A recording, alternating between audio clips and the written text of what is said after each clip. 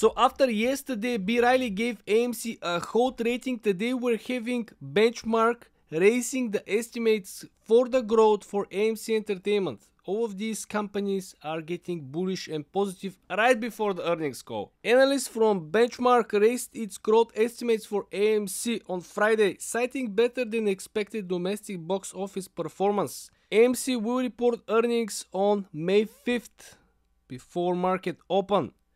Benchmark now estimates that AMC will report first quarter revenue of $912 million, up from its prior estimate of $831 million.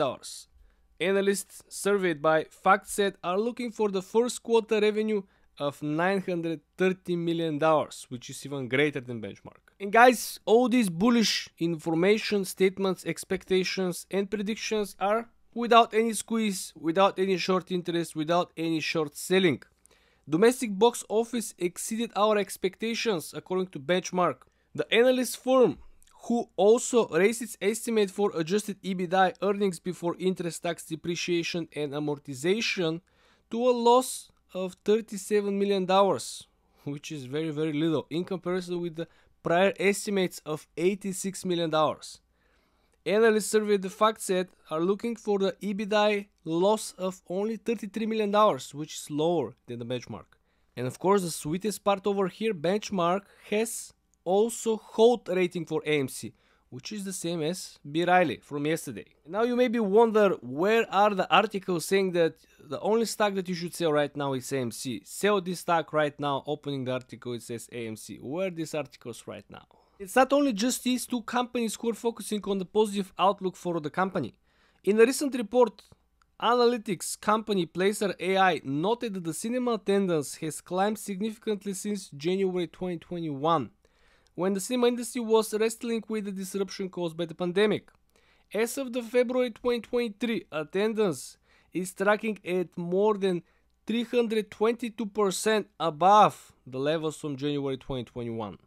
I wish the stock was up 322%, to be honest. You're probably waiting to see what Benchmark thinks about the actual conversion of the ape issuing more AMC shares and, of course, the reverse stock split. According to them, AMC to raise capital as soon as possible as the settlement is resolved is extremely important. We think AMC will immediately tap the capital markets on a successful transaction.